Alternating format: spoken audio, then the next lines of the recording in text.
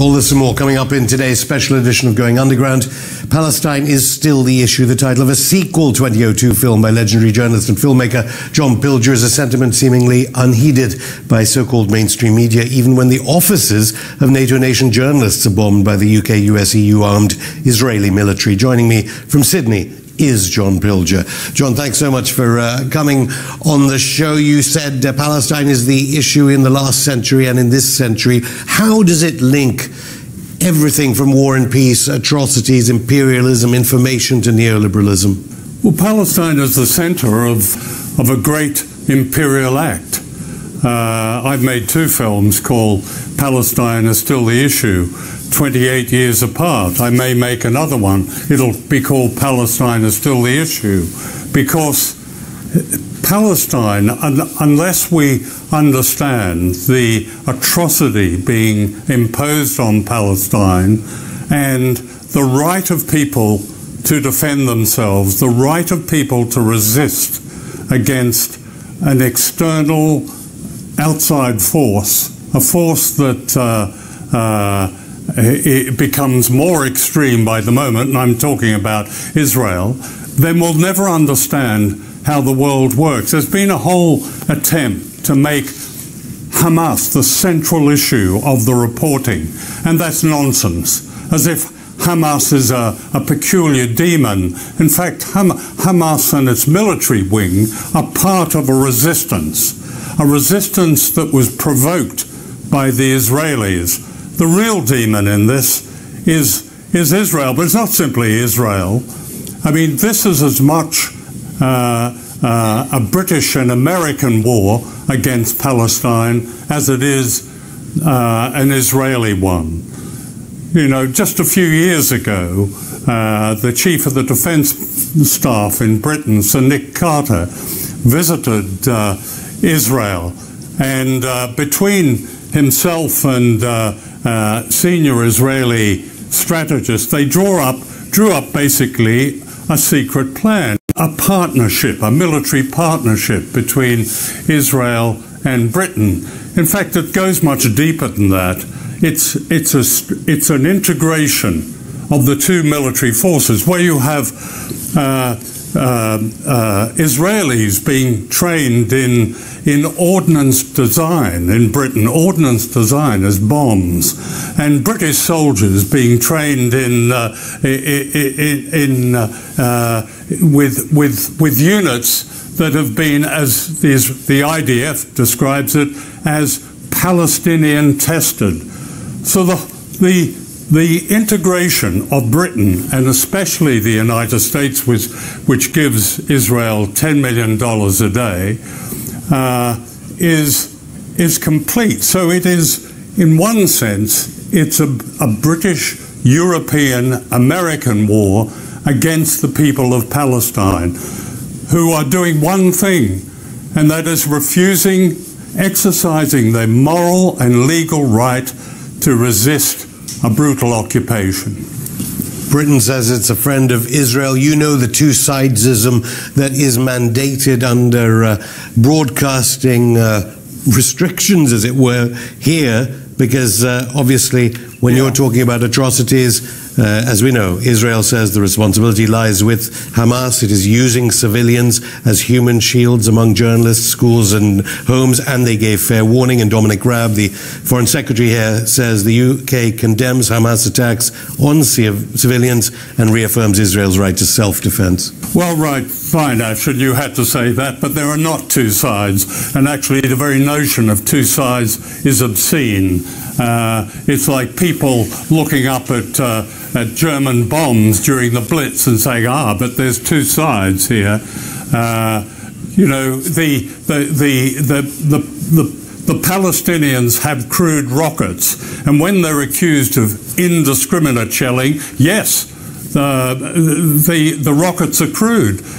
But on the other hand, Israel is doing discriminate targeting. It's, it's, it's, it's deliberately attacking, as it's always done, civilian targets. And we had the spectacle the other day of a high rise building in which the, the, the, the, the media almost all Palestinian, certainly non Western media, uh, we, we, we had the spectacle of this building being blown up by the Israelis with the nonsensical story that it was harboring Hamas. It wasn't.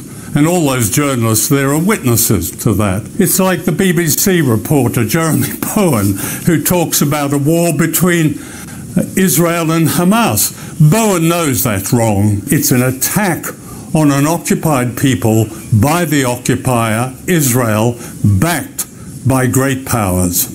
Do you think these journalists, you mentioned Jeremy Bowen, the Middle East editor of the state mandated BBC, who had to apologize previously being pro Palestine uh, in his reporting, do you think they understand that uh, firing stun grenades into the Al Aqsa Mosque on the equivalent of Christmas Eve is like uh, doing that to the Vatican on Christmas Eve. I mean, it was Eid al Fitr.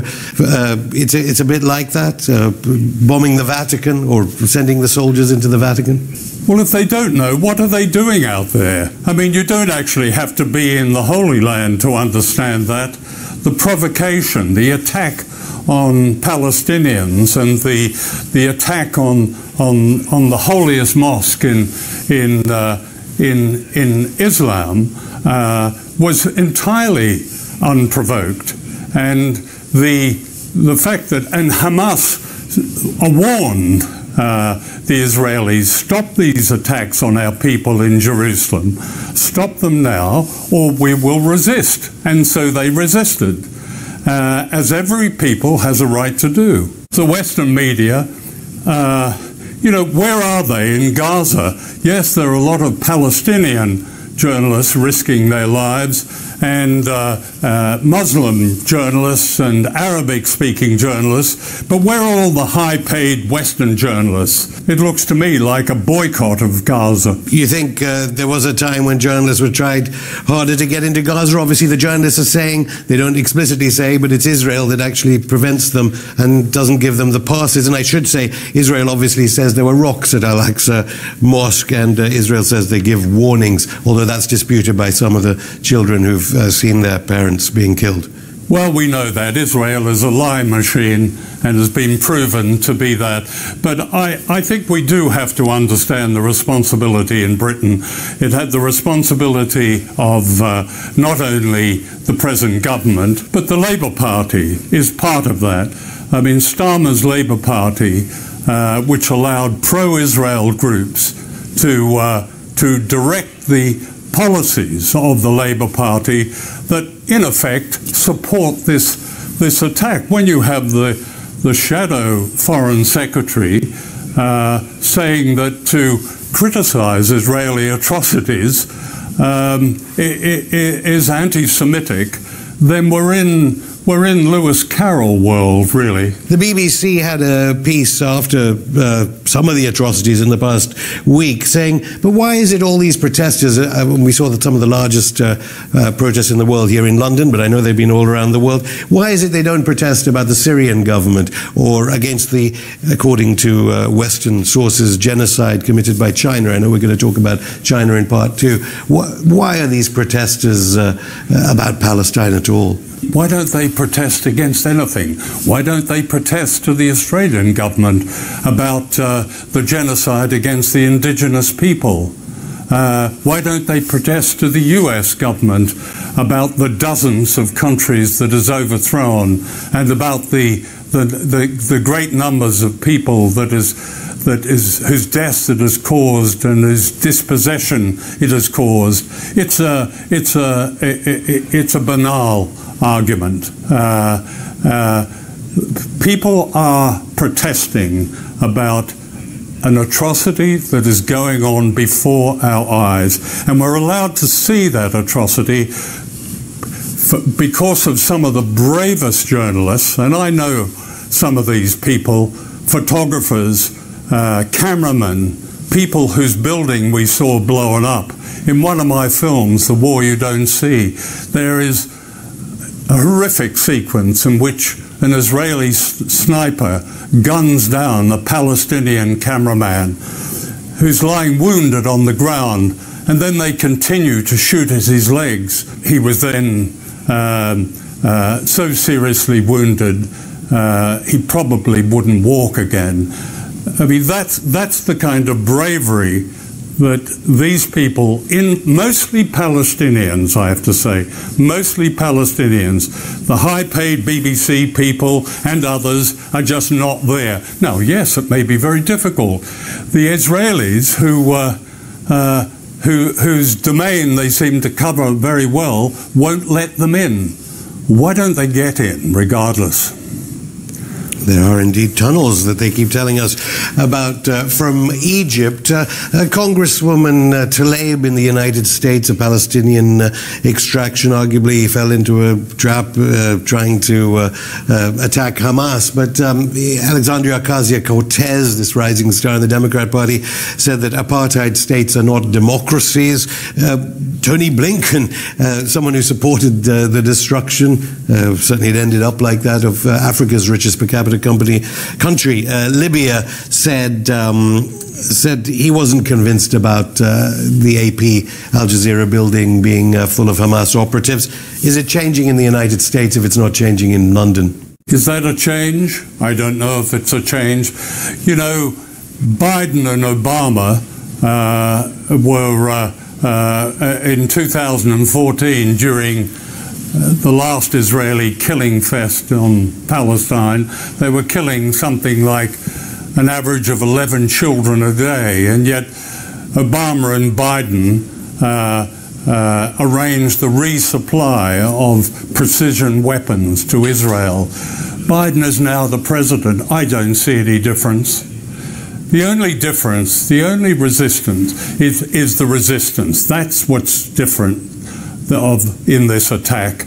There is a real resistance, and that, that should be matched by people going beyond their governments, beyond their parliaments, and going into the streets. That's the only way. Whether, the, whether or not that succeeds, I don't know, but there is no other way. You've suggested a, a link between those pictures of, of uh, atrocities coming from Palestine and the British Army and the, and the British state. Has uh, Israel, I know they've uh, been accused of killing journalists in the past, borrowed from the NATO playbook uh, when it famously uh, blew up Belgrade TV in Yugoslavia in this destruction of the, uh, the big tower in Gaza housing media organizations? It's a lot more dangerous now than, than when I was a war correspondent in, uh, particularly in Southeast Asia. Because now uh, your side, that is the side representing the people whose newspaper or broadcasting organization sent you, are aiming for you. You're a target. Uh, and, uh, but at the very least, these Palestinian cameramen and photographers and journalists, they are targets. But every, all journalists now are targets. Go into St Bride's Church in London into the corner that pays tribute to journalists who've died in, in uh, covering, covering wars. And there they are. The names, the names uh, are listed in the last few years uh, that indicate a trend that uh, the US in particular uh, doesn't give a damn whether you're a journalist or whether you have a, a lanyard hanging around your neck that says journalist. You'll get shot. The Israelis, of course, not only don't give a damn, they don't even consider it. You'll get shot, period. John, I'll stop you there. More from John Pilger after the break when we discuss double standards from China to the torture of Julian Assange.